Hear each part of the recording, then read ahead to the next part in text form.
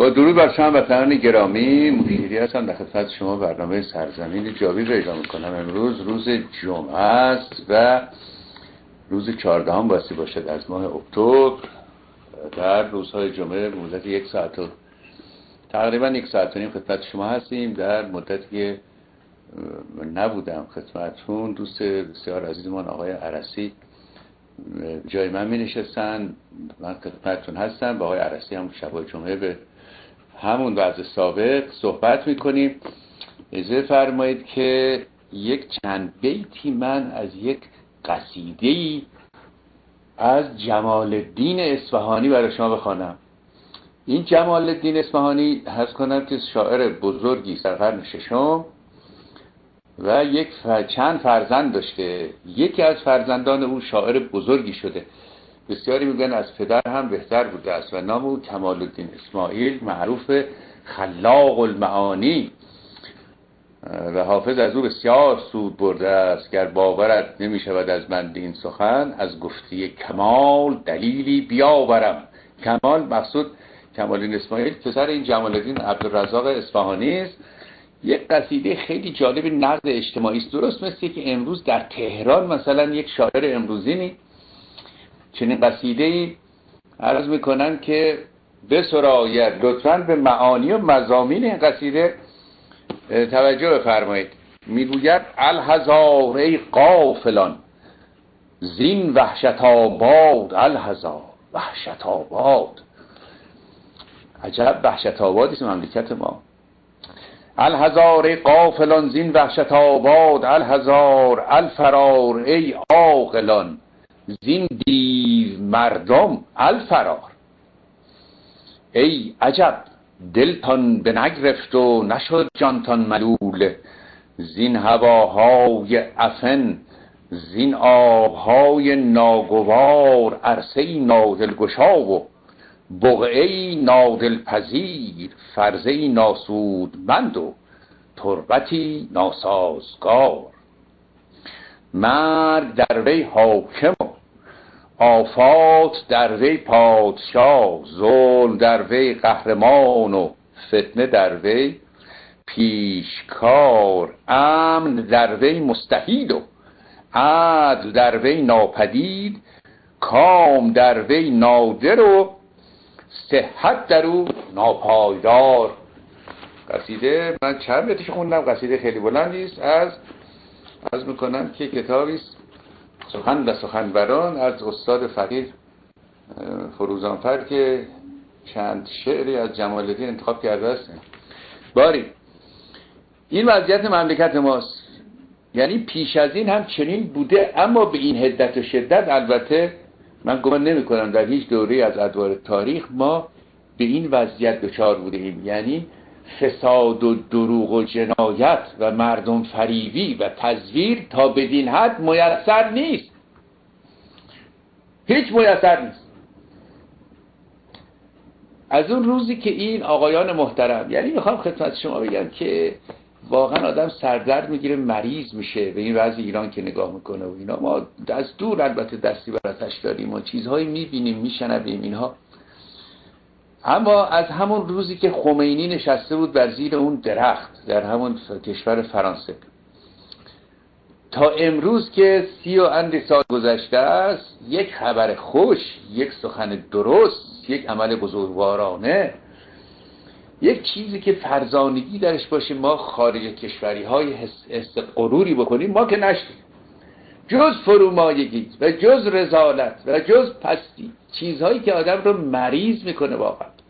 یعنی شما در طول تاریخ پیدا نمی‌کنید که زن آبستن رو ببرن تیرباران کنن. بچه نمی‌دونم شش هفت ساله رو هم دستبر بزنن هم هم چشم بند بزنن بشونن اونجا قاطعی مجرمی. بچه عکسش هست ببینید. هیچ ما ندیدیم یعنی در واقع حیثیت ما ایرانیان رو اینها بردن. در دو مورد ما یه حس غروری کردیم. واقعا اینجا خراج کشور. یکی در مورد همین جنبش سبز بود و نمایشی که از مدنیت و بزرگواری بچه های ایران نشوندن در این خیابان ها یکی هم روزی که برج های دوقلو رو زده بودن و این کشتاری که کردن سه هزار و نمی‌دونم چند صد نفر اون شمعی که برافروختن جوانان ایران برای نشان دادن حس غمخواری به مردم آمریکا بسیار بسیار جالب بود و جذاب بود و انسانی بود. من دیدم چند تن از بزرگان این مملکت اشاره کردند که ما فراموش نمی کنیم اون مهری که ایرانیان ورزیدن نسبت به در واقع فاجعه و تراژدی که در اینجا رخ داد در آمریکا. بقیت و جیش داستان ها در واقع یک مش اعمال پست و رزل و فرومایه و اینا. من خدمت شما ارز کنم که سال 1900 و این قصه رو شاید یه واردیان اشاره کردم. سال 1974 مخلص از ایران بیرون آمدن. با یک دوستی از فرودگاه مهرآباد با هواپیمای افرانس ما یک گذرنامه داشتیم یک ویزه آمریکا هم در اون بود به عنوان توریست. حالا از کنم چرا ویزای توریستی؟ اونم قصه ای دارد که یک شب باید قصهش خدمتتون بگم که چه دوزی پیدا شد در سر راه ما. همه چیز ما رو از کنم که برد. فرزند یک فرمانداری بود که داستانش جداگانه است. مجبور شدیم که اون کاغذها و اینها نبود. مجبور شدیم ویزای توریستی. این تصور که در حالا می‌خواستیم بریم فرانسه. این تصور که در فرانسه از ما ویزا خواهم خواست. از ذهن ما نگذشت. چنان آمدیم که می‌رویم منزل خاله. سوار شدیم به این هواپیما از کنم که فرانس و ما را آورد به فرانسه. اونجا اون امیگریشن گفت چقدر می‌خواد ما در فرانسه ما گفتیم مثلا دو ماه. ایشون هم بلا فاصله اون افسری اونجا بود دو ماه. خیلی محترم. بفرمایید ما فرمودیم. یه 15 16 روزی گشتن در این شانزالیزه و نمی‌دونم اطراف و اکناف. خب، یه اتفاق دیگر هم افتاد البته. که در با این دوستی که با من اومده بودن با هم قدم می‌زدیم. جفت می‌گفتیم از این صحبت ها اینها رد شدیم. از مقابل یک گیشه یک گیشه بود اکسچنج بود. یه مبلغ کمی پول ایرانیان در جیب ما بود. گفتم فلانی من ببینم این پول ایرانی رو قبول می‌کنه. رفتم پشت گیشه و درآوردم. از پشت گیشه گفت پول ایرانی خیلی خوب است. هنوز صداش در گوشمه به زبان انگلیسی. گفت ایرانیان مانی is very good. هنوز صداش در گوشمه باری بلا فاصله پذیرفت و به ما فرانک داد. فرانک داد. و بعد از اونجا به اتفاق این دوست عزیز ما رفتیم به انگلستان. اونجا در فرودگاه هیترو. ما رو باز به همون شیوه که آقا چیکار می‌کنیم؟ گفتیم که ما چیز هستیم توریست هستیم بفرمایید. دو ماه اونجا ما ویزا دادن. یک احترامی داشتیم ما در, در دنیا. باری و بعد آمدیم آمریکا. در آمریکا هم در این کالج اینا که می‌رفتیم از ما می‌پرسن کجایی هستین و گفتیم ایرانی خیلی نمیشناختن. معدود کسانی که تاریخی می‌دانستن کورش کبیر چون کورش کبیر خیلی مهمه در تاریخ جهان. به بسیاری از جهات و اون سرزمین کورش کبیر اینا با, کلی افتخار جمع شدن شرق همواره با یک نوع تصویر از تصویر رومانتیک در ذهن در ذهن غرب جلوه کرده و اینا. باری. خیلی خوب بود آسمان خلاصه مطلب. ناگهان دیدیم که بله. ما شناخته شدیم با و بعد بعض واسطات که می‌رفتیم مثلا من وارد شدم به یک کلاس انگلیسی بود گفت اون خانم شامی بود. بچه‌ای که در واشنگتن دی سی مدرسه زبان رفتن ELS می‌دانن گفت که شما از کجا هستین؟ گفتم از ایران. ما رو معرفی کرد. گفت که ایشون از ایران هست. اونجایی که دولتش چهل میلیون دلار به یونسکو کمک کرده است که با بیسوادی در جهان مبارزه بشه. باری. شنیم بود وضعیت ما که بالاخره رفته رفته گذشت روزگار رسیدیم به سال 78 79 ماجرات شروع شد و آقای خمینی بر زیر درخت درخت نشسته بود و همین سخنان پست و پرومایم اون میگو واقعا. میپرسیدن آقای خمینی حالا شما گفتین فردا بریزن بیرون نقشتون چی است؟ می‌گفت که من امر کردم که بریزن در خیابان ها و تظاهر کنن. ببینیم بعدا چه میشه. از اینجور صحبت ها و بعد این مومن سوار شد به این قطار به این ببخشید به این هواپیما و ایران. به محضی که به مملکت رسید و اون سخنرانی و قدرت به دست گرفت و آقای بختیار از ایران آمد بیرون تصاویر هولناک قرون وسطایی اون اعدام ها بر روی اون پشت بام و از کنم که اون داستان ها و باری حالا نکته این که مردم ایران یک انقلاب کرده بودن در روزگار مشروطه به آرزوهاشون نرسیده بودن. آرزوی بزرگ مردم. همبرگر و نمی‌دونم که نمی‌دونم شیشه شراب و اسکاش که نبود که. آزادی بود و حاکمیت ملی. حاکمیت ملی. این به دست نیامده. به دست نیامده. شکل و شکایت اون بود که کشور استبدادی است البته بود. و انقلاب. خیلی خوب. انقلاب برای آزادی در واقع. حالا به جای رسیدیم که نه تنها آزادی به دست نیاورده ایم و حاکمیت ملی هم نبوده است یک رژیم ددمنش جنایتکار آدم کش که از یک سو میلیارد میلیارد ثروت های مردم رو میدوزه و از اون سو گدا پروری می‌کنه. گدا پروری شما تصور رو فرمایید. یک قلم سه میلیارد دلار از مردم بدوزی و چهل دلار در ما بهش بدی دوستی می‌گفت که آقا وقتی که صبح در بانک ما می‌خوایم نبرم نمی‌شود اونجا. گفت که این آقایی که در بانک مثلا هشت باز می‌کنه اون جریانی که می‌کشه قفل باز خودش فرار می‌کنه وگرنه زیر دست و پا له میشه. 40 دلاریا. 40 دلاریا حمله. گدا پروری یعنی که شما گدایان هستین. ما به شما بعد این آقا که من اسمش کراهت دارم اسمشو ببرم. مردش که می‌شناسین. اینا رو خرج نکن اینا. اینا برکت داره ها.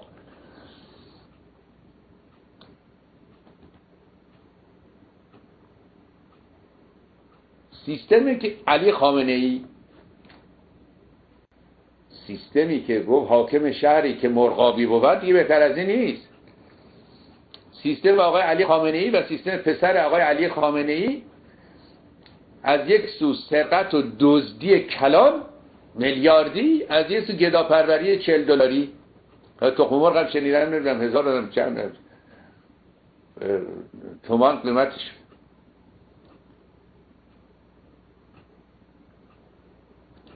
دوستی می‌گفتن که آقا این جنوب ایران این نیست که شما فکر کنید که بگن این این فرض کنید که اینجا گمرکه یعنی چیز دریایی است. و اون چه وارد میشه و هر آخوندی برای خودش یک گمرکی داره اونجا. هر چی می‌خوان وارد میشه هر چی می‌خوان خارج میشه از مملکت. یک سپاهی هم درست کردن به نام سپاه قدس. که آمریکایی‌ها نمی‌تونن تلفظ بگن کوتس این برای ارز کنم که ترور رو برای در واقع ماجراجویی در خارج ایران در فلسطین در نمی‌دونم لبنان و اینا اگر دستشان برسد کشتن این مخالفین خارج کشور و از کنم این داستانه که بتواند اقتدار اسلام رو نشان اقتدار اسلام. این آقای خامنه ای به قدرت رسید اقتدارش رو با قتل های زنجیری استدلالش هم این بود درست بود استدلالش. گو آقا در مدینه 70 80 تا آمدن شروع کردن سربریدن صدر اسلام ها همون صدر اسلام منوری که شنیدید خیلی خیلی منور بوده. خب اینا تاریخ بلدن دیگه تاریخ سیدی جدشونه که بلدن. شروع کردن سربریدن همه پس دادن و تسلیم شدن. حالا ما شروع می‌کنیم سربریدن در این مملکت. تا اینکه کسی با ما در نیفته هر کس با ما نیست بر ماست. و امروز یک سیستم است که شما یک تصویح بخواید یک سر صورت کثیفی یک نعل خری عکس نعل خر بر پیشانی. متظاهر به زهد و متظاهر به از کنم که شریعت شریف از اون سو سرقت و دزدی و رشوه و دروغ فکر نمی کنم در هیچ کشوری. به درجات مملکت ما فساد وجود داشته باشه. ما نیست چنین چیزی. ما در تاریخ مثلا رضاشاه می‌خوانیم که شدیدترین عملی که در خارج انجام داده بیرون کردن اون نویسنده است.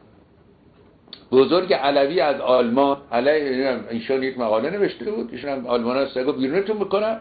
یه بار گفتم قصهشون خدمت. اینا آمدن و یه قانون فوری تصویب کردن در همون رشتاگ یعنی همون چیز آلمان مجلس آلمان و بزرگ علوی را از آلمان بیرون کرد.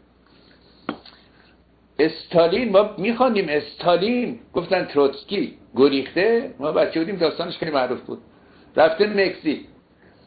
این استالین آدم فرستاده که با قند شکن. با قند آقای تروتسکی رو گیر آورده رفته در منزلش با قند شکن زده کشته. اینو ما خیلی چیز وحشتناکی می‌دیدیم.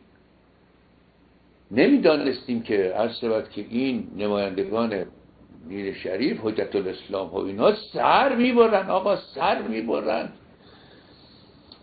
یک مرد بزرگواری یک مرد شجاعی مثل شافور بختیار دکتر بختیار از ایران آمد مرد حدود هفتاد نمی‌دونم چند سالشون بوده اینا. سه نفر فرستادن او رو سر بریدن. رگاش قطع کردن. تصاویرش بود خواستم میشن میشن پیدا نکردن. بعد اون مردکی که نمی‌دونم سبیلش تراشیده فرار کرده نتونست موقع گذاره برگشتن گل به گردن انداختن و گفتن حقوق انسانی این حقوق انسانیش پایمال شده در فرانسه. یه تکه نشون بده امیر جان از این آقای که برگشت به ایران قاتل نخست وزیر مملکت. در فرانسه مرد نامرد. تازه اسمش هم وکیلی راد هست. گفت که برعکس نهن نام زنگی کافور. راد. بفرمان آقای راد. آقای راد رو ببینید که گل به گردنش انداختن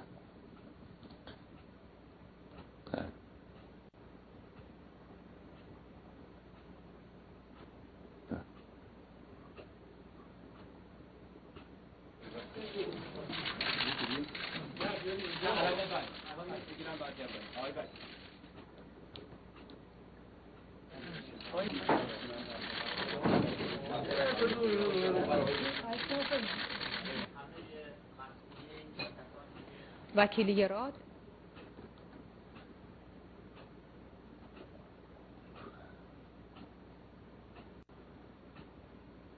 سرزمینی که در افتاد تا به الان حالت روی هم اجازه نمی‌دونم که باید و شاید باهاتون حرف بزنم. فقط بهتون بگم که واقعا شاید به, به عبارتی جهنم رو گذروندم. امروز خوشحالم که به عبارتی بهش رو جلالی نماینده مجلس. دنیای امروز متاسفیم که این گونه با فردی کاملا اثبات شد. هیچ جرمی مرد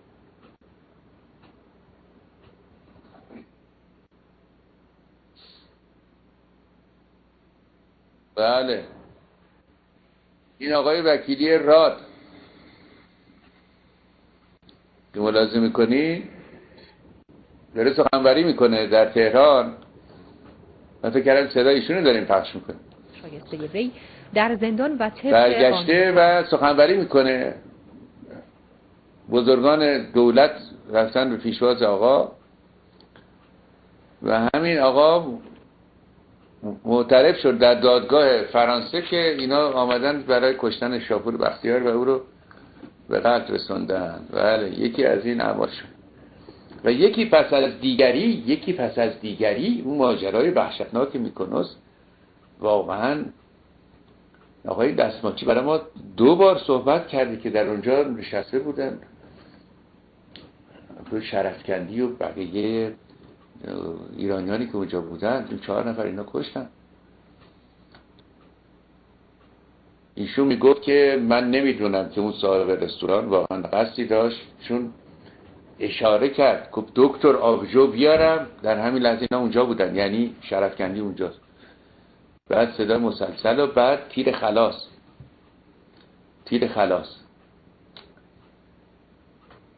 عکس های خیلی فجی از میکنوس بود که ما نتوانستیم پیدا بکنیم. واقعا نشان دادنشان واقعا خیلی خیلی فجی هست. و هرچه زمان گذشت چهره ایران کریهتر کریهتر در خارج کشور. دخالت ها در عراق و در فلسطین و جاهای دیگر. و کشتار هم ادامه پیدا کرد. همونطور که مطلع هستیم داخل خارج قطعای زنجیری داخل و کشتار خارج کشور. یه بیچاره شومنی بود به نام فریدون فرخزاد. این فریدون فرخزاد عرض کنم که خب همه میشناختن ایشون رو. شومن خیلی خیلی خوبی بود مرد هنرمندی بود هم شاعر بود هم که نمی‌دونم. در کار سیاست بود. سیاست چه کنم. یعنی می‌گفتن political science خونده. خیلی مرد باهوشی بود. برادر فروغ فرخزاد. آمده بود یه مقداری جوک می‌گفت و اینها در بند سرداران اسلام چهل ضرب چاقو گویا به من گفتن آقای فرجی دوست عزیزم که مشغول این بود است که ناهار برای مهموناش مثلا مهیا بکنه. از پشت با چهل ضربه چاقو تکه تکش کردن. و بعد از سه روز که آمدن برای سر جسدش سگ بیچارش اونجا نشسته بود اینم غرق خون اونجا افتاده بود و شخصیت های دیگری که یکی پس از دیگری کشتن. مقصود این که این داستانی که اخیرا پیش آمده و این آقایی که می‌گویند آمده در مکزیک و چنین و چنان که ما هیچ قضاوتی در باب او نداریم واقعا. نمی‌دونیم که یه کی هست و داستان چی هست و اسناد چی هست و فلانی حرفا. اما از بس این زمینه های پلید در, در اذهان شما ببینید که چه میزان رو می‌خواد واقعا. یک به یک کسی ویزا بدهد. صد نفر رو با چادر و چاخچور و غیره و یک مش دوز و اینا با خودش برداری بیاد تو بکن بره من در میسیز نیویورک رو خالی بکنم. دو سه طبقه هتل یک میلیون و چند صد هزار پول ملت بیچاره. همین آقا که چل دلار میده میگه نخور اینا. این برکت داره. بیشتر نزدیک دو میلیون دلار مخارجش بوده که این بیاد این مرد منحوس به اون حیبت و هیئت و اون ذهنیت و اینا. در سازمان ملل متحد توهین بکنه به مردم اینجا که اینا دروغ خودتون کشتید. یعنی آدم باهوشتر از این توی مملکت نبوده بفهمه. با این همه روزنامه ها و این همه محققین و این همه آدم حسابی این این همه دانشگاه و این همه خبرنگار نفهمیدن تا این آقا پاشه بیاد. به مردم اینجا بگی که شما نمیفهمینا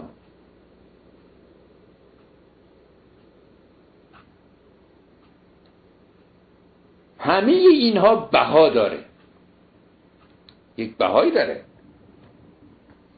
اون هاستجگیری خمینی که در تاریخ جهان بی سابقه بود و یک بار دیگر یک صفیحی در ایران یک کاری از این نو کرده بود و او سلطان محمد شاه بود که 600 تن فرستادگان سفرای حسن نیت چنگیزخان مغول رو کشته بود. این بار دوم بود. هزینه که تاریخ جهان پرداخت کرد برای اون اون اشتباه جبران ناپذیره. هزینه هم که ملت ایران پرداخت کردن بابت این کار این آخوند محترم اینم قابل محاسبه نیست واقعا. قابل محاسبه نیست. چه, چه, چه قیمتی پرداخت شد؟ چون وقتی کسی شد سیاست مدار رئیس مملکت هر سخنی از او صادر میشه نفع و ضرری برای مردم اون کشور داره. به حالی خود مردم که نیستن در جریان. زمانی که سلطان محمد خارج شد در اصفهان مست بود. و اون قایرخان از اترار آدم فرستاده بود که چند تا جاسوس مغول آمدن اینجا چیکارشون کنیم اینا؟ فلان؟ گفت هر کار می‌خوایم بکنیم. اونم به امید چهار تا پتو که اینا داشتن و گلیم و اینا خب زیر کار دستشون آورده بودن. گرفته اینا رو گرفته خود سهر بریده. مردم نشابور و خوجند و خارزم و اینا که همه از دم شمشیر مغول رد شدن که خبر نداشتن که یه مردک بی تدبیری. بدون فکر دستور کشتن فرستانگان چنگیز خان رو. این آقای خمینی هم اون روزگاری که آمریکایی رو گرفته بود و چیز کرد. براش مهم نبود که حالا چه اتفاقی میفته 500 هزار کشته زخمی های ایرانی نمی‌دونم بمب شیمیایی این همه خسارت اقتصادی. هنوز هم از کنم که نمی‌دونم چندین هزار یا چندین ده هزار معلول جنگی در کشور ما هست که گویا رژیم هیچ گونه رسیدگی هم نمی‌کنه اما شنیدم ده ها هزار نفر معلول هنوز برجاست بابت این اشتباه.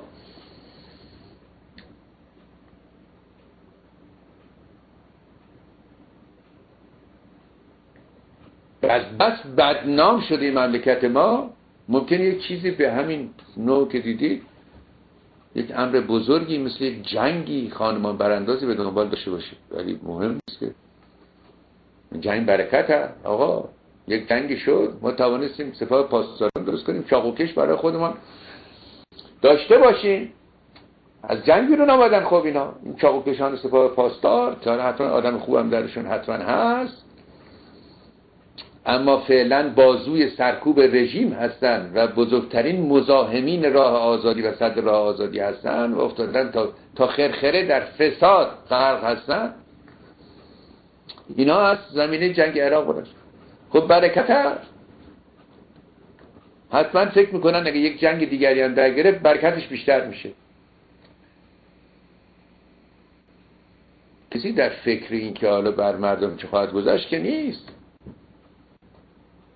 آخر کار فرض کنید که فرض می‌کنیم که یک جنگ هم بشود و همه زیر ساختای ایران از بین بره و تعداد خدا نکرده چند صد هزار نفرم کشته بشن. اینا آخونداری بیان محاکمه کن بگم این چه خواهند گفت؟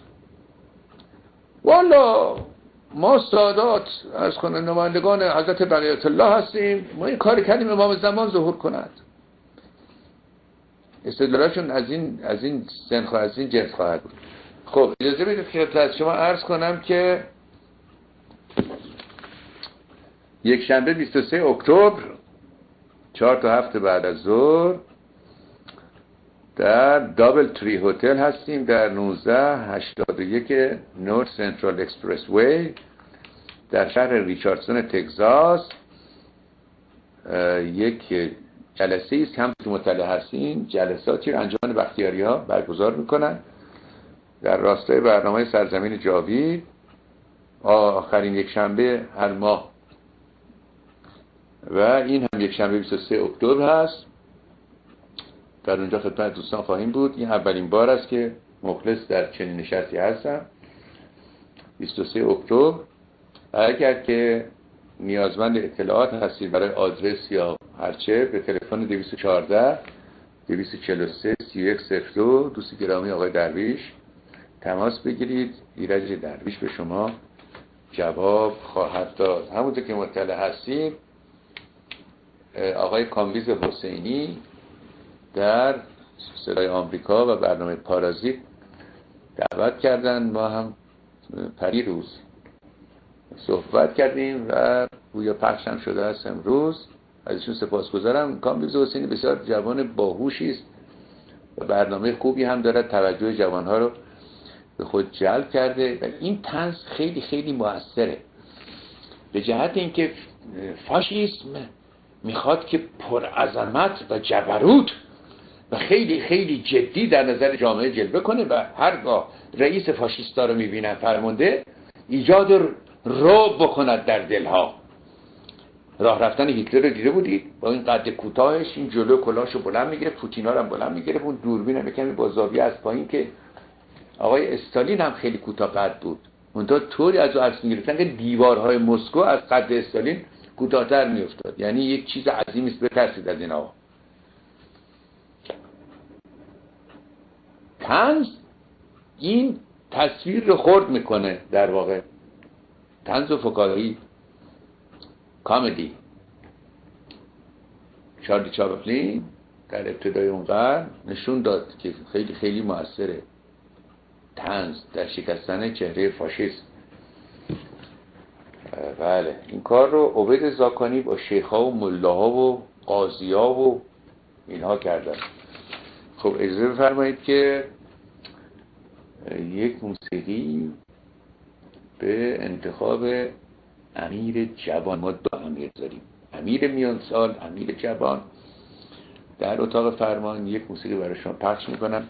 برمیگردیم. امشب با آقای عرسی صحبت خواهیم کرد. نظر ایشون رو در باب همین این آقا که گرفتن و گفتن که آقایی آمده است مکزیک و چین و چنان که برنامه رو شنیدید که نظرات مختلف در ابراز میشه.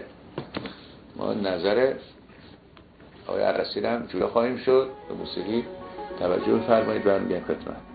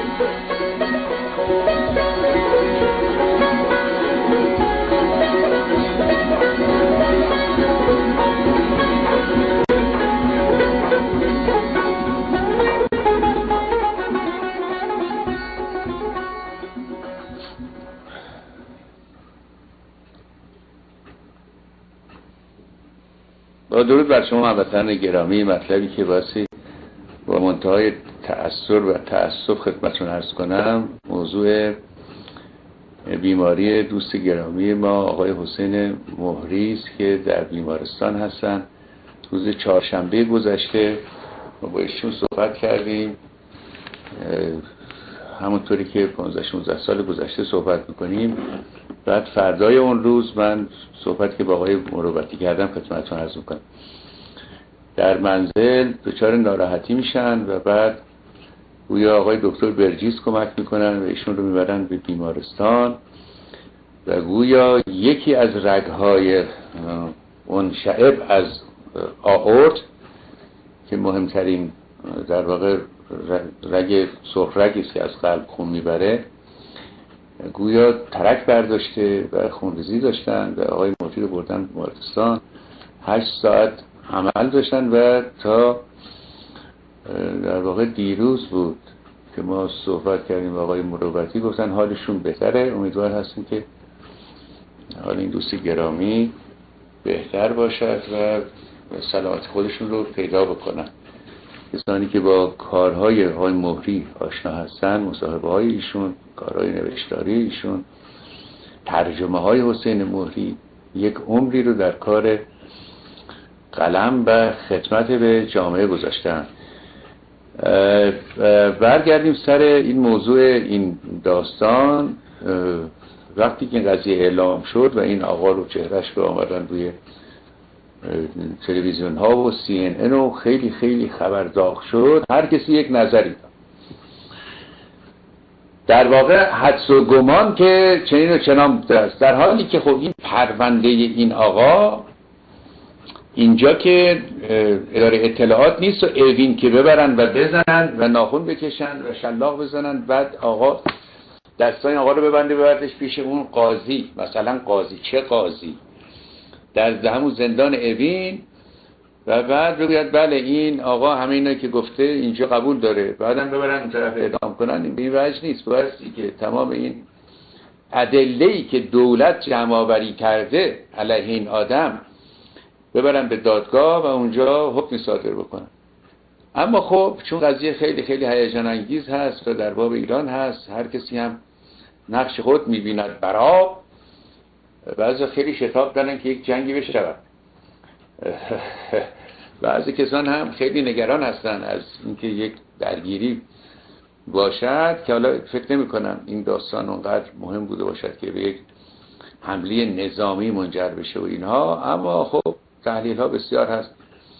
گروه کسان می‌گویند این کارتل هایی که مواد مخدر در مکزیک در واقع اونجا کار می‌کنن. اینا اینا حسابشون از میلیارد میلیارد بالاست در سال. چگونه با 50 هزار دلار یا 100 هزار دلار یا قول یک میلیون دلار اینا بیان خودشون با دولت آمریکا طرف کنن. باشه این کار.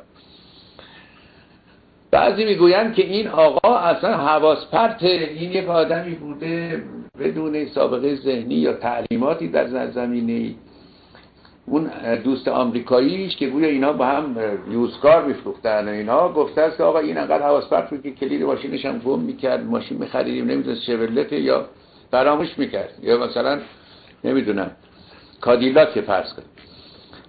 و این ادعا کرده است که من یک دوستی دارم در چیز پاسداران البته کسانی هم هستن مثل آقای هیدری که از دیپلمات هایی بود که در همین جنبش سبز جدا شده از جمهوری اسلامی.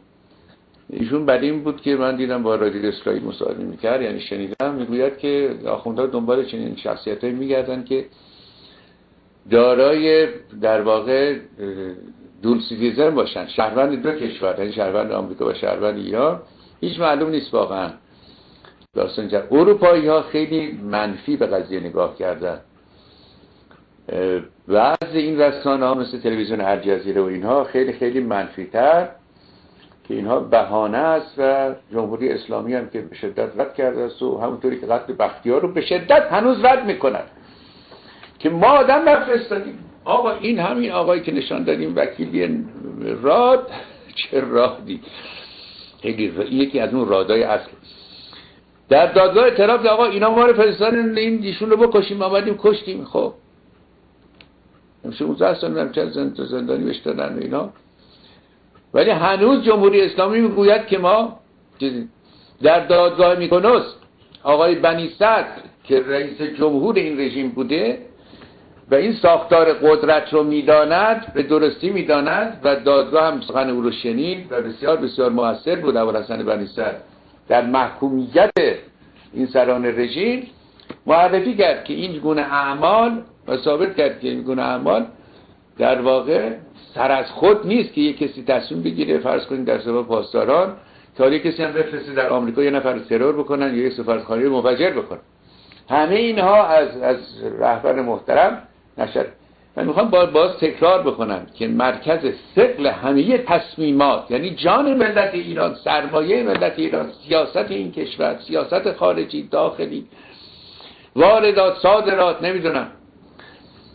هر اتفاقی میافتد گناهش برگردن آقای علی خامنه است.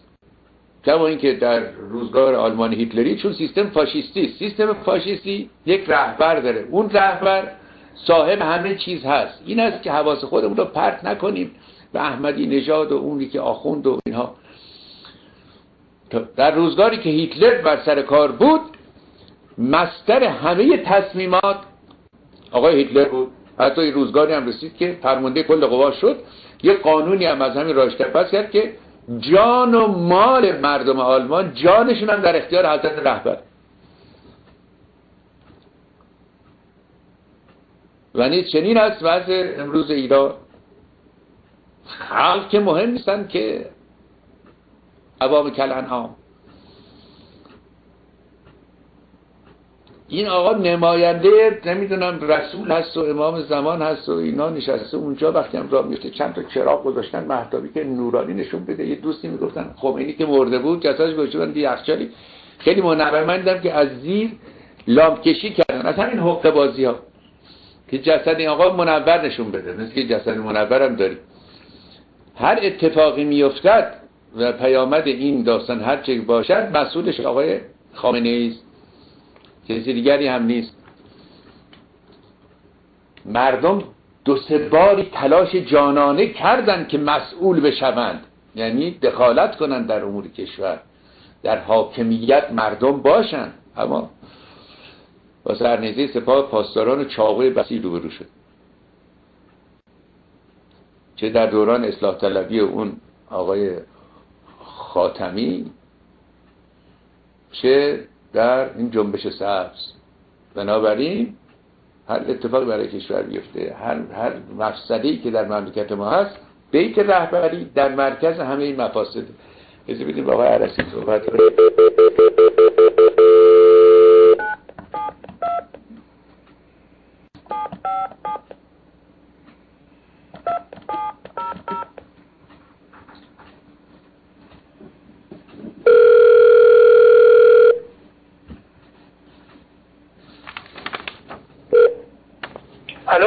آقای عرسی گرام. الو؟ آقای عرسی. بله آقای مشیری؟ درود بر شما. درود بر شما قربان. حالتون چطوره؟ سپاسگزار شما هستم. شما چطوره قربان شما قربانش داشتیم. صحبت می‌کردیم در ارتباط با همین. ارز کنم که واقعی که اخیر به وقوع پیوسته. شما خوب هستین در جریان که هستین آقای عرسی. بله در جریان هستم آقای مشیری البته صدای شما آقای مشیری کمی. صدای شما خوب میاد آقای عرسی. صدای شما خوب میاد. بفرمایید. بله.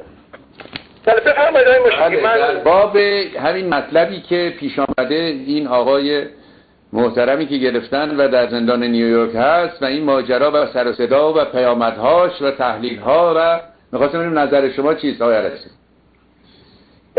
ببینید جناب مشیری من این درباره این جریان من ابتدا مایل هستم که یه چهار پنج دقیقه صحبت کنم در ارتباط با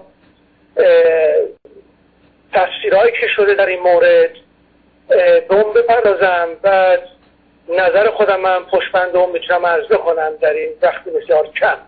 عرض کنم که همونطور که خودتون می‌دونید طی چند روزی که از این ماجرا پرده برداشته شده و توتعه رو بر هر حال داستانش رو جهانی کردن همه در مورد برن صحبت می‌کنن دو نوع در حقیقت و در عمل ما تحلیل می‌دونیم یه عده با سرعت شروع کردند از اطلاعیه که دولت آمریکا داد داستانی آمریکا داده. صد درصد تایید می‌کنن و با اشاره به سابقه جمهوری اسلامی میگن که خب این جمهوری اسلامی از زمانی که به قدرت رسیده برقرار شده این نظام کار این توطعه چینی ترور بوده در جاهای مختلف و در ارتباط با ایالات متحده امریکا هم یک بار در اون سال 1980 81 بود که آقای به نام تبا تبایی رو اینا ترور کردن در خاک آمریکا و بعد سربازان آمریکا رو در لبنان کمک کردن که اونا ترور شدن صدها آمریکایی کشته شدن. در داستان خوبار در سال 1906 در عربستان 19 آمریکایی رو عوامل جمهوری اسلامی کشتن. خب یک زنجیره ای از این کارهای تروریستی جمهوری اسلامی رو یادآوری می‌کنن و اینکه در زمان حالم به علت اینکه جمهوری اسلامی در یک رقابت شدید با عربستان سعودی قصد داشته که با اون گونه ضربه زدن به عربستان به حال در این رقابت حریف خودش رو در موضع سخت و بدی قرار بده خب صد درصد قضیه رو تایید می‌کنن و خیلی هم هستن که می‌دانید خودتون اشاره می‌کنن که دولت آقای اوباما بایستی دستگاه اداری آقای اوباما بایستی موضع خیلی سختی در پیش بگیره. و ابتدایی گفتن که حتی بایستی عجله کنه برای حمله به ایران برای ضربه نظامی به ایران چون این عملی که جمهوری اسلامی انجام داده. یک عمل جنگی یک. بله. جنگی لاجرم بایستی به اون پاسخ جنگی داد. خب یه عده اینجوری دارم میگن. عده از مفسرین هم که مثلا در بین مفسرین اروپایی بعضی از نهادهای آلمانی و بعضی از مفسرین ایرانی هم که در این سو قرار گرفتن مثلا در خود ایالات متحده امریکا افرادی مثل آقای نصر آقای افراد دیگری بودن در این مورد که در مطبوعات در نیویورک تایمز در نشریات مختلف مقاله نوشتن و در این مورد تفسیر کردن در رادیو تلویزیون های آمریکایی. اینا خب البته اومدن به دید شک به قضیه نگاه می‌کنن و میگن که خب این نوع عملی که جمهوری اسلامی انجام داده این با کارهای پیشین جمهوری اسلامی خانایی نداره. که جمهوری اسلامی اولا الان تمام تلاشش هستش که با آمریکا رابطه رو یک گونه از این حالت جنگی در بیاره بیرون و به این محاصره اقتصادی کوشش می‌کنه نقطه پایان گذاشته بشه. در نتیجه جمهوری اسلامی خب هیچ چنین کار رو نمی‌کنه که در خاک آمریکا بخواد سفیر عربستان رو ترور بکنه. عده دیگه باز در این راستا دلیل میارن که خب این کاری که جمهوری اسلامی کرده عملی که در واقع این آقا به نام آقای منصور ارباب سیار انجام داده نحوه کار او به قدری طرف دست با چلفتی بوده به قدری با بیعقلی و با حماقت کار انجام داده که این کار با نوع کارهای سنتی جمهوری اسلامی و مخصوصا با کارهای سپاه قدس که بسیار مشارانه بوده بسیار زیرکانه بوده بسیار نقشه های فوقلاده پیچیده چیدن اجرا کردن برنامه قدرشون میگن که این نوع کار این نوع کار با همه دست با با کارهای پیشین جمهوری اسلامی و سپاه قدس خانایی نداره. در نتیجه به دیده شک نگاه می‌کنن. ولی بالاخره تمام اینها میان نرمو می‌زنن که به احتمال قوی این بعضی از عوامل خودسر در این مورد توی سپاه قدس نقش داشتن و این کار رو انجام دادن. در میان دوست عزیز بنده روزنامه نگار با ارزش آقای امین موحدی مبارزه آزادی که هم ولایتی بنده هم هستش ایشون یک تحلیل بسیار مشارانه ای دادن. هر ایشون این هستش که از چارچوب این که این کار جمهوری اسلامی با دست با چلفتگی است انجام داده یا مسائل دیگری که دیگران مطرح می‌کنن میگن این چارچوب بیاین ما بیرون. در که مثلا اینجوری نگاه بکنیم در مقاله ای که تحت عنوان اهداف جمهوری اسلامی از ترور این آقای الجبد سفیر عربستان در آمریکا چه بوده. در اینجا اشاره می‌کنه با بندن که خصوصی صحبت می‌کردن دیشب اشاره کردن به این مطلب که هدف جمهوری اسلامی از این کار ضربه زدن به ایالات متحده امریکا صرفا نبوده. بلکه از جمهوری اسلامی الان در یک رقابت شدید با عربستان در عین حال جمهوری اسلامی می‌داند دنیا می‌داند که رابطه بین عربستان و سعودی و دولت دستگاه اداری آقای اوباما در حقیقت ایالات متحده امریکا بسیار بده الان. در سبب حمایتی که اوباما از انقلاب مصر کرد و باعث سقوط مبارک شد و همینجور در مورد تونس هم همینجوری ما بیان بکنیم رابطه عربستان سعودی و آمریکا بسیار بسیار بده. یک حالت سردی وجود داره. ایشون در این نظر هستن آقای موحدی امین موحدی. میگه که جمهوری اسلامی خواسته با دست این مافیای مکزیک این سفیر عربستان رو بکشه این عمل باعث می‌شد که چون اینقدر در خاک آمریکا صورت می‌گیره و آمریکا مسئول در حفظ و نگهداری و امنیت سفیر عربستان در ایالات متحده امریکا که چنین عملی باعث شد که رابطه عربستان ایالات متحده بیش از پیش رو به خامت بگذاره نظر جالبی آقای بله. نظر جالبیه بسیار نظر جالبیه من واقعا شخصا به ذهنم نرسیده بود و وقتی هم که برای من می‌گفت من بهشون آفرین گفتم واقعا بسیار هوشیارانه در این مورد تهیه کرده و این می‌تونه حقیقت باشه بله از کنم که این خلاصه اون چیزهایی است که در این مورد گفته شده و کماکان هر وقت داستان میگذره من الان این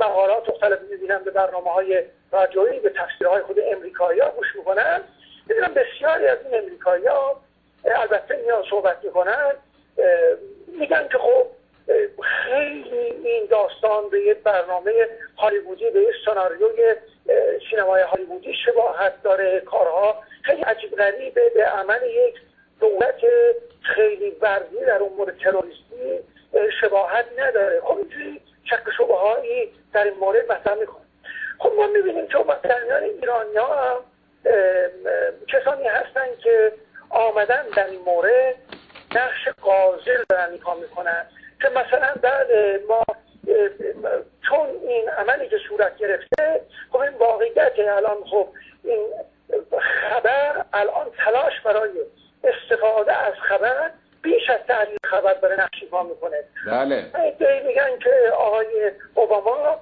الان از این موقعیت استفاده کرده سعی کرده عربستان و سعودی بیشتر نزدیک بشه خودشو باز به عنوان بزرگترین حامی عربستان دولت آمریکا رو به عنوان بزرگترین پشتیبان عربستان الان در این مورد نشون داده همه جا و ضربه بزرگی به حیثیت جمهوری اسلامی زده از طرف دیگه تونسته در رقابت با حزب جمهوری خواه دست بالا رو داشته باشید که بله من این گونه دارم با جمهوری اسلامی ایران مبارزه می‌کنم و این گونه حامی منافع عربستان هم حامی منافع اسرائیل هستم و با این سیاست خوب می‌تونه در انتخابات سال آینده به استفاده بکنه.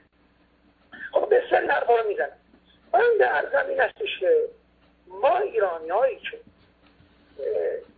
طرفدار آزادی ایران هستیم و می‌دانیم که الان ایران به چاه بدبختی و ذلت افتاده. و می‌دانیم که تا زمانی که این رژیم برقراره چنین بقایی دائم اتفاق خواهد افتاد و ایران در اثر این سیاست ها ممکنه با یک پرسش وجودی واقعا روبرو بشه.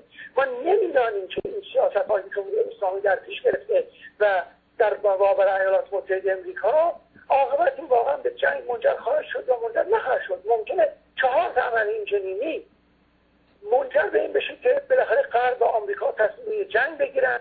یک جنگ محدود هم ممکنه تبدیل بشه به یک جنگ خیلی وسیع و اون کشور به طور کلی مثل نابود بکنه آقای مشیری چه؟ بله. امکان پذیره بله. نمیشه ما بگیم که اینها امکان وجود نداره و همه چی انشاءالله به خیر و سلامتی خواهد گذاشت. نه. از هر جنبه نظر این خطر ایران رو تهدید می‌کنه.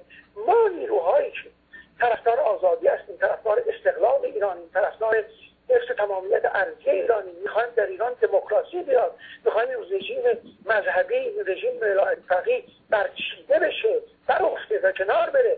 نظام نظامی برقرار بشه که نظام دموکراتیک باشه. مردم در اونجا بتونن نفس بکشن. ما ها که خواهان این هستیم که ایران در مسالمت با تمام دنیا زندگی بکنه با غرب با شهر با عرب با اسرائیل با ترکیه با, با تمام دنیا ما می‌خوایم در مسالمت زندگی بکنیم. اما افرادی که این گونه به مسائل داریم نگاه می‌کنیم جناب مشیری به عقیده مخلص باید افتادن به دام این نوع تحلیل ها که آیا این برنامه توطعه ای بود مثلا از سوی ایالات متحده امریکا یا واقعا جمهوری اسلامی کار انجام داده یا انجام نداده؟ آیا این کسانی که آمدن توطعه کردن پول دادن به مافیای مصری که بره سفیر عربستان رو بکشه آیا اینها دستور مستقیما از بالاترین مقام این مملکت یعنی از ولی فقیه و احمدی نژاد از این افراد گرفتن و خودشون عناصری بودن خودسر که اومدن کار رو انجام دادن؟ من گمان می‌کنم ما آزادی خواهان ایرانی از افتادن به دام این نوع مباحث اساسا باید خودداری کنیم. نمیگم که توی حقیقت نباید باشیم ما. ما باید بریم به سوی حقیقت باید بریم ببینیم که این وقایع از کجا سربیشش می‌گرفته اما ارزم این هستش که رول قاضی رو ما نباید ایفا کنیم. کار ما کار پلیسی برای تحقیق این که حق با آمریکا یا حق با ایران نباید چنجی باشه. من فکر می‌کنم ما باید این پرسش رو جناب مشید مطرح بکنیم که کدام حکومت بود چه کسی ایران بوده یا آمریکا بوده جمهوری اسلامی بوده نظام ولایت فقیه بوده یا این ایالات متحده امریکا بوده که چنین وضعی رو بین ایران و آمریکا و ایران غرب وجود آورده. جناب مشیر شما خودتون می‌دونید همه مردم ایران می‌دونن تمام جهان می‌دانند این رژیم از سه سال پیش به قدرت رسیده چه از زمانی که خمینی بوده که بعد از خمینی حکومت اسلامی و نای کار خودش رو بر صدور انقلاب ماجراجویی در خارج صدور تروریسم و مبارزه با ایالات متحده امریکا گذاشته. دائم از هر امکانی استفاده کرده که به حیثیت آمریکا لطمه بزنید روابط ایران آمریکا لطمه بزنید رابطه ایران و آمریکا رو از یک موضوع به قول معروف محاوره ای به یک موضوع محاربه ای تبدیل بکنه. بله همینجوره. ایران رفتن سفارت گرفتن. سفارت آمریکا کردن. از انقلابیون مختلف حمایت کردن. رسما اعلام کردن که مبنای کار ما برانداختن قهرامیز اسرائیل دوست نزدیک ایالات متحده امریکا. رسما اعلام کردن که برنامه ما به سقوط کشاندن ایالات متحده امریکا. جناب مشیری وزیر رئیس جمهوری ایران این آقای احمدی نژاد بلند میشه بیاد در سازمان ملل متحد. گفتم بله. ترین نهاد بین المللی هم به مناسبت دهمین سالگرد دهمین سالگرد واقعی اون هواپیما زدن به اون بله یازده سپتامبر بله. سپتامبر دیگه به هر حال سال سپتامبر 2000 که میدانه که مردم آمریکا زخمی هستند دلچرچین از این وقایع نفرت دارن از دنیای اسلام از ایران. می‌دانن اینها رو. میاد در یک این نهاد بینالمللی وام میشه اونجا جلوی تمام مردم دنیا برمیگرده میگه که این جریان یازده سپتامبر کار خود شما آمریکا کار خود دولت آمریکا بود. کار خود سید بود. خب شما ببینید گفت زدی ضربه ای ضربه ای نوش کن. آقا یه نظامی که سه سال پرچم آمریکا رو میدازه زیر پاش توهین می‌کنه لگد مال می‌کنه. کار تروریستی انجام میده. راست دروغ هر عملی انجام میده. علیه ایالات متحده امریکا بنده نمیگم که آمریکا یا خیلی حکومت دولت آمریکا دولتی خیلی خوب کار بد نستن نکرده ها. بله نه. مثل آمریکا کار بد کردن. در ایران کلیکای نظامی را انداختن. دولت ملی ما رو سرنگون کردن. هزاران جا تجاوز کردن. استثمار همین را درست. ولی بنده می‌خوام عرض بکنم. این رابطه با ایالات متحده امریکا رو که بزرگترین قدرت روی زمینه قدرت نظامی اقتصادی سیاسی علمی عالمه. آخه با این دولت دولت به این بزرگی ما که حکومت کوچکی هستیم را میفت به در صلح و در صمیمیت و در مسالمت زندگی کنیم. مثل همه مردم دنیا. اینا افتادن از روز اول با لاتبازی و شاه و و توهین و پرچم سوزوندن و آتش دادن و سفارت تصرف کردن که چون سیاست بدن مقابل آمریکا دستش برسن در نتیجه جبی به وجود آوردن که این جب جب تخاصمی جب خصومت آمیزه. بله. جبی که فضایی که در اونجا میشید کوچکترین جبه ممکنه به یک اشتعال عظیم تبدیل بشه. این وضع جمهوری اسلامی به وجود آورده آقای مشید وقتی که این وضعی به وجود آوردن طبیعی طرف مقابل هم که ایالات متحده امریکا باشه اگر آقایون از یعنی حکومت جمهوری اسلام که توطعه واقعا بکنه خب اصلا میگن توطعه کرده توطعه نکنه جمهوری اسلامی. علیه قرد اونا خودشون ممکنه برن توطعههایی بکنن برای اینکه بکوبن سر جمهوری اسلامی. شما در مورد عراق. این عراق جمع کمیت تصرف کرد. اما اقسام جنایات این حکومت صدام حسین انجام داد. خب با قرد درگیر کرد خودشون. با قرد درگیر کرد. غربی ها اومدن برای که بالاخره اونو از بین ببرن اومدن قصه ساخت جور آمریکایی درست کردن زمان پوش که این weapon of mass destruction داره. بله. خب اتم داره درست می‌کنه. بله. او هم بود. ولی چشم اون صدام حسین کو؟ جمع باشید وقتی که اون سیاست ها رو در پیش می‌گیره بله. طرف مقابل هم ممکن کار بکنه. یک رهبر یک حاکم عاقل یک رهبر واقعا ملی اون کسی که سعی می‌کنه برای ملت خودش برای کشور خودش سیاست خارجی رو در پیش بگه که به مسالمت به صلح به تمام قدرت های دنیا منجر بشه. بزرگترین جنایتی که اتفاقا جناب مشید من فکر می‌کنم جمهوری اسلامی انجام داده همین رابطه تخاصمی وحشتناکی که بین ایران و ایالات متحده امریکا برقرار کرد. بله زمان آقای خاتمی شما خودتون شاهد بودید. خاتمی را اقدام کردن آقای مشیری. بله. روابط ایران و آمریکا رو یکی درست بکنه همین سفیر سفیر اجرا مشیری سفیر کانادا در ایران شهر میگه در یکی از سخنرانی ها در دانشگاه اتاوا میگه در حضور جمعی که هاشمی رفسنجانی هم اونجا بود. من از اینا پرسیدم که چرا شما نمی‌گذارید خاتمی رابطه ایران و آمریکا رو درست بکنه؟ میگه رسما برگشتن جواب دادن. هاشمی رفسنجانی میگه گفت اون دوره که در کنار علی خامنه بود علیه این اصلاح میگه برگشت گفتش که ما خودمون می‌خوایم رابطه رو یه روز با آمریکا درست کنیم. ولی نمی‌خوایم این رابطه به دست خاتمی و اصلاح طلبا صورت بگیره. عجب. ما می‌خوایم رابطه به تخاصمی بمونه تا خودمون بعدا رابطه رو درست کنیم. خب ببینید این نظر یه این حاکمین این مملکت بوده. خب شما می‌خواید از چون رابطه چه چیزی در چه, چه چیزی به پاید در بیارید جز این این تجایع و بدبختی هایی که الان بسر ایران در میاد. الان ایران آقای مشیری یک درخت تنومندی که زمین افتاده در سر سیاست خارجی.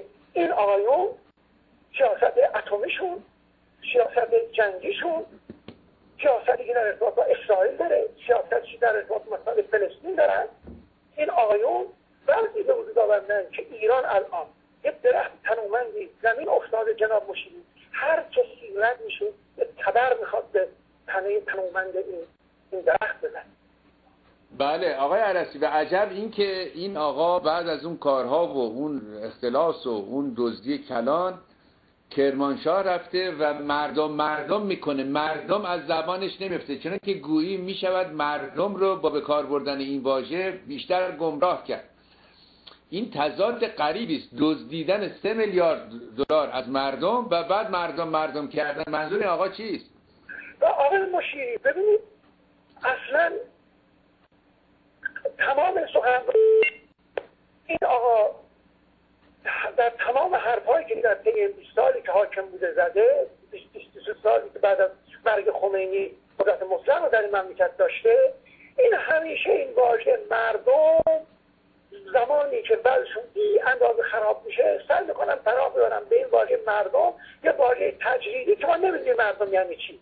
بله. مردم الان که مردم مردم می‌کنن می‌دانن خودشون که در داخل و خارج منظری و باید الان مجید مردم رو بگن. این صحبت این این صحبت مردمه نیست. بلکه تملق در مقابل مردمه جناب بله تملق در مقابل مردمه. این دروغ داره برای میگه به مردم.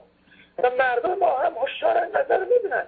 دلیلش هم بسیار بسیار جناب باشید ساده هستش این مردم مگر همون مردمی نیستن که به اشکال گوناگون جناب باشید. در اون هفتش سالی که دوران خاتمی مقتدر آزادی وجود داشت می‌رفتن رأی گیری می‌کردن بین دانشجوها تو شهرهای مختلف در بین بازاری ها در میان اقشار مختلف ملت ایران. جناب باشید رفتن بررسی کردن. همه جا آمارها میگو 93 درصد 95 درصد 91 درصد. باور کنید من یه مورد پایین از 90 ندیدم.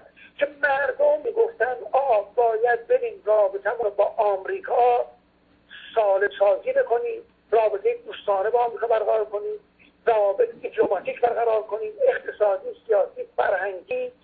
ما با آمریکا هیچ دشمنی نداریم. بله. من هم سوال بکنم. این جامعه که بالای 90 درصد مردم اون خواهان دوستی ایالات متحده بله. این مردم هم دیگه. همین مردم هم. بله. که بالای 90 درصد حدود 95 درصد این مردم خواهان دوستی با جهان غربن خواهان مثلا این دشمنی علیه اسرائیل علیه غرب از بین بره. یک رابطه سالم بر پایه عزت و ملی با هم برقرار بشه با همه اینا. این همه فش دادن با آمریکا این همه تلاش کردن برای خصومت با ایالات متحده امریکا چه رفتی داره با احساسات مردم؟ بله همین مقابل خواستای مردم. همون لحظه ای که داره به غرب پشت میده در اونجا جناب مشیری اعلام می‌کنه که این رژیم این نظام های غرب در حال سقوطند و بله. هستند. همون لحظه داره علیه مردم ایران صحبت می‌کنه. چرا که اون مردم 95 درصدش خواهان دوستی با ایالات متحده امریکا مخالف این حرفای این احمدی نژاد هستن که سخن از نابودی اسرائیل بیان می‌کنه. سخن از نابودی اسرائیل میگه و حرفای مفتین چنینی همون کسانی بودن؟ جناب مشتی خودتون چند وقتی با هم صحبت می‌کردیم اشاره می‌کردیم؟ چقدر گرورامی چقدر گرورامی وقتی که واقعی سپتامبر وجود آمد این جوانان ایرانی دختران پسران زیبا و ماه ایرانی بله. چند دست گرفته بودن و عشق بله، بله. کشته شده هایی که در آمریکا بودن. چقدر اون برای ما عزت آورد؟ چقدر برای ما احترام آورد؟ این همون مردمه. شما که رئیس جمهور منتخبه. آیا علی خامنه با میشه میاد در دهمین سالگرد واقعی نیویورک نه با میشه در سازمان ملل اون سخنان حقیق اون سخنان وزیرانه با هم به زبان میاره. آقا این آبرو حیثیت بر مردم ایران می‌ذاره. این مردم که شما به اون دارید تمام می‌برید. الان دارید تملق اون مردم میگید آقای علی خامنه ای. این همون مردمی است که شما علیه خواستای درست انجام عمل می‌کنید. بله. این خواستای اون. این یک تملق گویی است آقای مشیدی. اینا الان در زمین و آسمان آویزانن. می‌دانن که مشروعیت نه انقلابی دارن نه مشروعیت مذهبی دارن نه مشروعیت سیاسی دارن نه مشروعیت ملی دارن. یعنی جایی نیستش که اینا خراب نکرده باشن در دنیا بی آبرو در ایران بی آبرو بله. مردم ایران الان گفت دیده ای خواهم که باشد شهرشناس تا شناست شاه را در هر لباس. بله. مردم ایران اینا رو در هر لباس در- بپوشن جناب مشین می‌شناسن ملت ایران اینها رو. بله. به همین جهت بنده ارزم واقعا هستش که روشنفکر ایران آزادی خواه ایران دلسوز اون ملت. در هر مرحله از دانش و بینش باشه از افتادن به دام داوربازی در آوردن و داوری کردن و قضاوت کردن که آیا در این مورد حق با آمریکا یا حق با ایرانه؟ من فکر می‌کنم این افتادن تو دامه. چرا که جمهوری اسلامی وقتی که ما بیایم بیان بکنیم که بله آمریکا یا توطئه کردن جمهوری اسلامی محال چنین کاری بکنه اینا هم اصلا احمق نیستن که جمهوری اسلامی در چنین بازی در بیاره. نتیجهش این میشه که جمهوری اسلامی یک چهره مظلوم از خودش نشون میده و اینا در طی این 33 ساله تا دائم با این مظلوم بازی مردم رو به دور خودشون جمع کردن. بله آقای عرسی من دو مطلب می‌خوام خدمتتون بگم. یکی این که یک کتابی در آمد که یک بازنشسته CIA که سالهای دراز اونجا مسئول دسک ایران بوده و اینها اون نوشته بود که وقتی که جنگ تمام شد و اوضاع اقتصادی بسیار خراب بود همین آقای خامنه ای و آقای رفسنجانی در اندیشه در واقع گشودن مناسبات حسنه با آمریکا مصمم شدن رفتن پیش خمینی. خمینی ناگهان در مخالفت با اینها موضوع سلمان رشدی رو موضوع سلمان رشدی رو علم کرد. من می‌خوام یک چیز خدمتتون بگم. در دشمنی با آمریکا شما فکر می‌کنید که چه چیزی به دست ملایان هست؟ فایده اون برای اینها چیست به نظر شما؟ ببینید آقای مشیری این قضیه رو ما باید در چارچوب ارز کنم که تفکر فاندامانتالیستی و تفکر ایدئولوژیکی اینها مورد بررسی قرار بدیم این قضیه هیچ فایده سیاسی نداره. هیچ فایده برای ملت ایران نداره. ببینید به نظر من خمینی یه فردی بود که یک ذره در اون حس ملی و مردمی و ملت ایرانی وجود نداشت.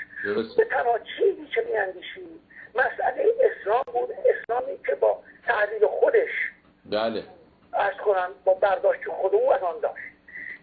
یادتون باشه زمانی هم که آقای بازرگان هم به این قضیه به درستی اشاره کرده میگه وقتی که من اومدم مقام نخست وزیری رو به من داد و منو برگزید به عنوان نخست وزیر ایران در دولت موقت میگه اون موقع صحبتی که کرد این بود که ما انقلاب کردیم. تا ایران رو در خدمت اسلام قرار بدیم. میگه منم برگشتم گفتم که البته به نظر من ما می‌خوایم اسلام در خدمت ایران باشه. و همونجا اشاره می‌کنه که در هر حال بین من و ایشون اختلاف خیلی عظیم بود. من گمان می‌کنم این حرف درستیه. بله. پس از ادعای نوع که مثلا مرحوم بازرگان کرده من می‌خوام بگم واقعا خمینی یک چنین پدیده ای بود. بله. یه آدمی بود. واقعا سنتی مرتجع به معنای دقیق کلمه. بله. البته خوب همون چیز به ذهنش من همون رو می‌گفت یک آخوند سنتی بود که مغز و کلش از افکار علامه سینا جلوتر نبود. بله همینجوره همینجوره یه موجود بود که از گورستان تاریخ در آورده بودن. بله. آوردن در اون مملکت به قدرت رسید. که همه ما به گونه مسئول اون بدبختی ها بودیم و رژیم پیشین بیش از هر مسئول بود که چه اتفاقی تو مملکت افتاد بله همینجوره. ولی به هر حال می‌خوام این مطلب رو عرض کنم که این فرد هیچ علاقه به مملکت نداشت به ایران علاقه نداشت. بله. بعد از انقلاب وقتی که همون یعنی تمام نوشته ها خاطرات سیاسی که بیان شده اون موقع ما خودمون ایران بودیم به هر حال به جریان انقلاب قرار داشتیم.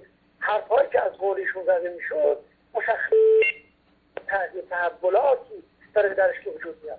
آقای خمینی جناب وقتی که ایران اومد گرفت از اونور تمام این اسلامیستای بین المللی مخصوصا از عراق و فلسطین و تمام کشورهای عربی آمده بودن آمدن دور خمینی رو گرفتن و کوشش کردن به اون این قضیه رو القا بکنن که شما از رهبر ایران به صورت رهبر جان اسلام باید در جایید بله بله منتظری هم عینا همین رو. بله. بله گفته است بله. بله.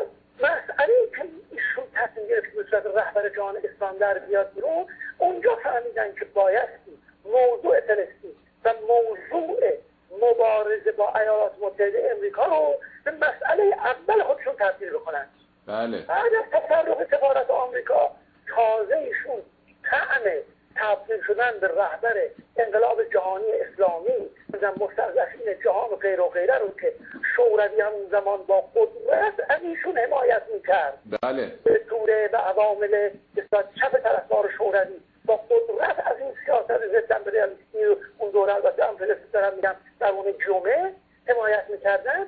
در واقع در دوران آخرای دوران جنگ سرد این واقع به این شکل شد. یعنی این خواست آقای خمینی برای تبدیل شدن به قهرمان ضدیت با ایالات متحده امریکا که از اون طریق مثل رهبری جهان اسلام رو به دست بیاره خواست اتحاد جماهیر شوروی و بلوک شرق هم بود. این دو تا خواست با هم امتزاج پیدا کردن و میدان دادن به خمینی که بیفته به چنین سیاستی. در نتیجه از اون طرف از اون زمان به این سو خمینی بیش از پیش با فاندامانتالیسم ادغام شد و بعدا یک سیاست هایی که در پیش گرفتن مسئله سرنوشت ملت ایران منافع ملت ایران اقتصاد ایران نفت ایران پیشرفت ایران اینا دیگه مطرح نبود. بله. این بود که آقایون چه بکنن به رهبر جهان تبدیل بشن؟ درسته آقای عرصی آقای منتظری هم می‌گوید که وقتی خمینی آمد به ایران بعد از کوتاه مدتی در واقع در اندیشه ایران نبود. ما صحبت ایران که می‌کردیم می‌گفت ایران رو فراموش کنید. ما بایستی کل جهان رو تغییر بدهیم. و سخن از صدور انقلاب به جهان می‌کرد. اون فرستادن اون آقا به شوروی هم که به خاطر دارید که اونها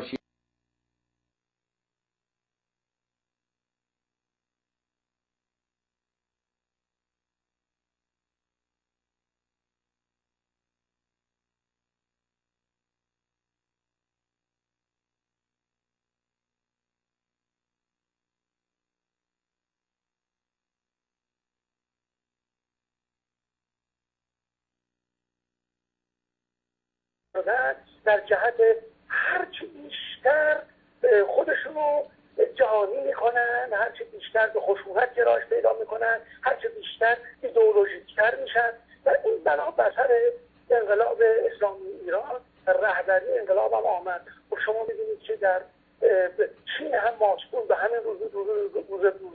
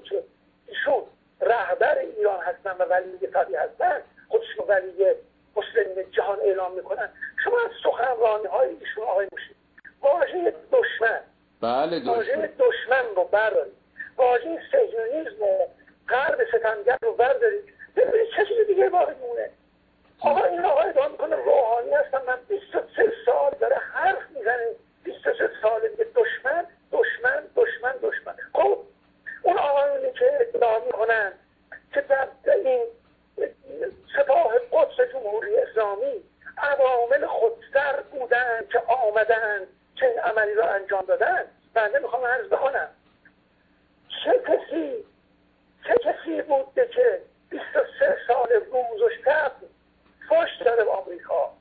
اعلام خصومت کرده با آمریکا. توهین کرده به غرب به به ایالات متحده امریکا به اسرائیل. دائم از خون و خونریزی و جنگ و مبارزه و سقوط غرب اومده سخن گفته. خب طبیعی چنین افکاری عناصری رو تربیت بکنه که سرابا به اونها نفرت و دشمنی و خصوصا و جنونی باشه که برن این کارا رو انجام بدن.